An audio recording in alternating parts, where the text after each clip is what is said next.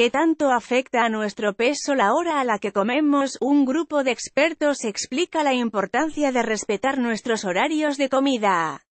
Lee también, mujer desarrolla una app que le lleva sobras de comida a los más necesitados. La mayoría de los nutriólogos coincide en la importancia de respetar los horarios para comer, ya sea los platillos principales como las colaciones que van entre comidas.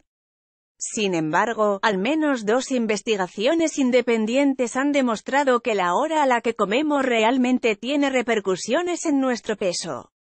A lo largo del día nuestro organismo va necesitando nutrientes que deben administrarse a través de una dieta balanceada, rica en legumbres, cereales, proteína, carbohidratos y vitaminas, por lo cual, la hora del desayuno, la comida y la cena, son esenciales para llevar un estilo de vida saludable.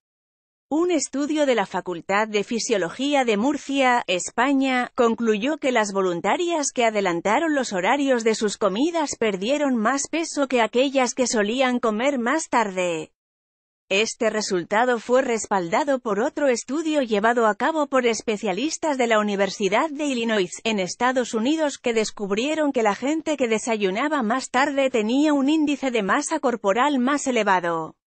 Respetar la hora de la comida es esencial para mantener un estado de salud óptimo. Wikimedia Commons Respetar la hora de la comida es esencial para mantener un estado de salud óptimo. Wikimedia Commons Para entender este fenómeno, la doctora Gerda Pot, del Colegio un marco cíclico de 24 horas, metabólicamente hablando, indica a Pot, significa que comer de forma abundante por la noche no es lo adecuado, porque tu cuerpo descansa por la noche.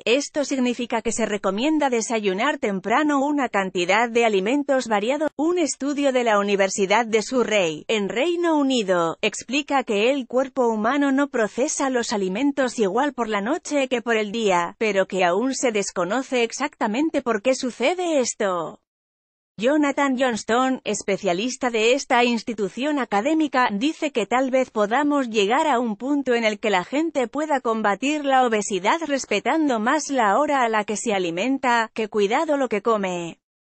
Tanto Johnson como Pot coinciden en que la comida más fuerte y balanceada debe suceder por las mañanas, mientras que la más ligera por las noches. Sin embargo, lo importante es respetar horarios de comida que se adecúen mejor al estilo de vida de cada persona. Como siempre, se recomienda acudir a un nutriólogo para conocer cuál sería la dieta más adecuada para cada individuo.